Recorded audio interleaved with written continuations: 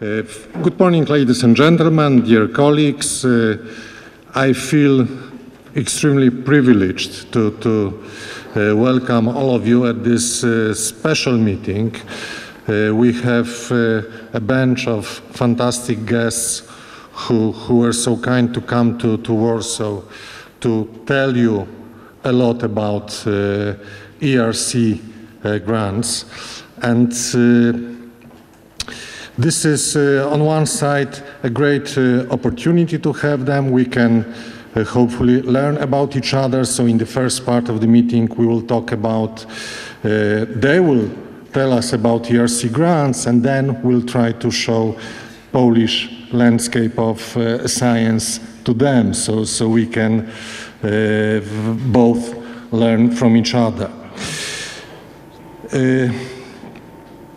we have with us a number of uh, very important and uh, extremely uh, high uh, located in science people in uh, our audience in the room. I'm not able to name everybody today.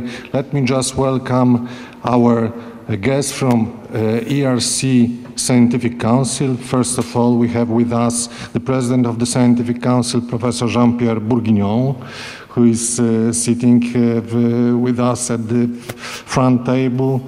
We have Professor Barbara Romanowicz, who is uh, a member of Scientific Council, Professor Tomas Jungwirth, who is with us as well, I, I, I, cannot see you. Yeah, yeah, you're, you're here. Okay. Uh, we have uh, Professor Manuel uh, Arellano, Professor Andrzej Jajszczyk, our Polish member of Scientific Council, and Professor Nektarios uh, Tavernarakis, who is, who is there, yes, with us as well. Welcome, and, and uh, we are really proud to have you here in uh, Poland. We have also uh, distinguished guests from, from uh, Polish institutions. I don't see Professor Zbigniew Marciniak uh, general, from General Council of Science and Higher Education, but he is coming to join us very soon. And uh, we have with us uh, Director General of the Ministry of Science and Education, Dr. Anna Budzanowska. Uh, thank you very much for uh, coming uh, to this meeting. We should also have Professor Romuald Zabielski, who is, who is Vice President of the Academy of Sciences. I uh, didn't introduce myself at the beginning. I'm uh, Paweł Rowiński. I'm Vice President of the uh, Polish Academy of Sciences.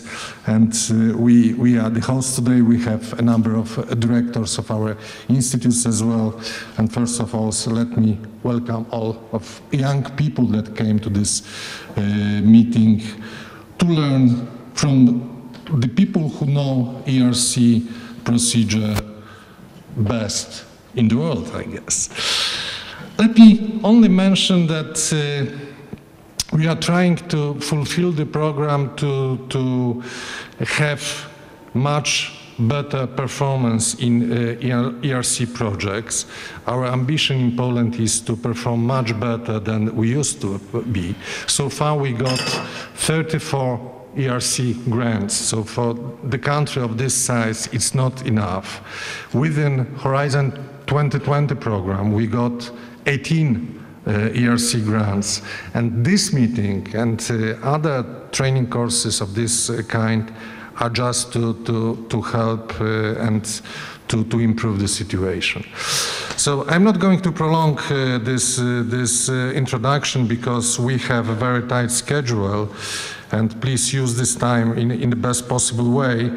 let me only introduce Director Anna Budzanowska, and, and please, floor is yours. You, you, you will say a few words to the audience. Thank you.